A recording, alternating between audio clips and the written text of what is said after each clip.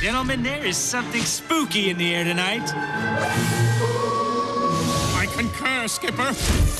Does anyone else feel extra Halloweeny? Uh-huh.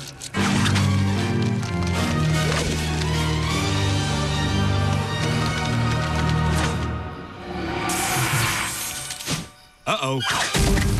Feeling a little less Halloweeny now.